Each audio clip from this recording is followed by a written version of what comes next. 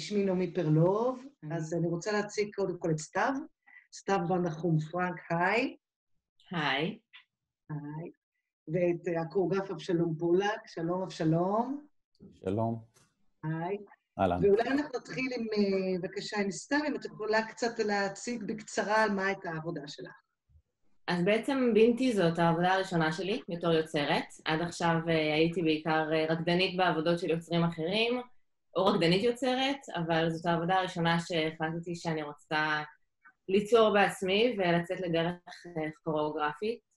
והרגשתי שהדבר הנכון לעשות יהיה בתור, um, בתור עבודה ראשונה, זה בעצם לחזור לשורשים שלי ולחזור לעבר שלי ולמשפחה שלי. אני חצי תימניה וחצי, וחצי רומניה.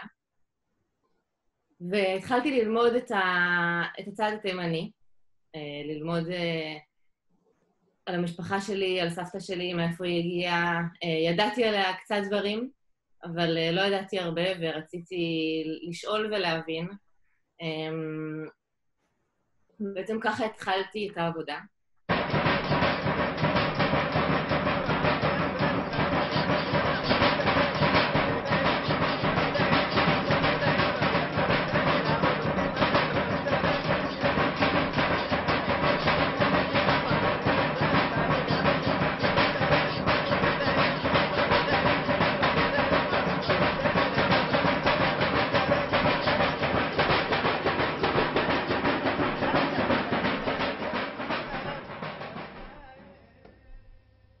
אבשלום?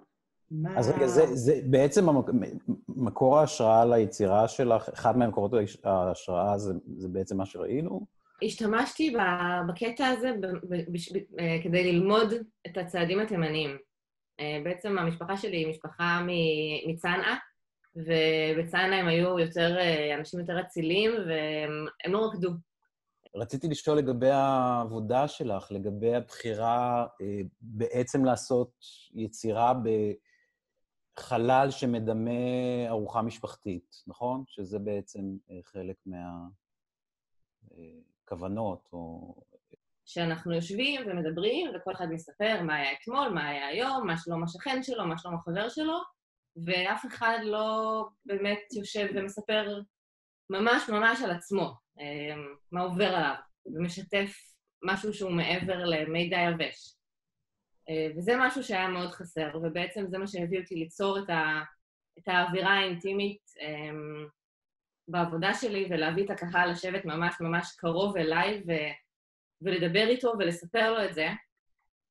אמ, מעין איזה רצון גם לשנות את זה ממש במשפחה שלי, אה, להביא לשינוי אמיתי, ש... שמי שיראה את זה יחשוב על זה ויגיד, אוקיי, רגע, איך אנחנו, איך אנחנו כן נפתחים, איך אנחנו כן מתקרבים לאנשים שבעצם אמורים להיות הכי קרובים אלינו, שזה המשפחה שלנו. אז תודה רבה אה, לסתיו בר נחום פרנק, היה בהחלט מסקרן, מעניין, נשמע מקורי, אישי, מאוד מאוד נהנינו, ותודה רבה לאבשלום פולק על השאלות הנהדרות, ולהתראות.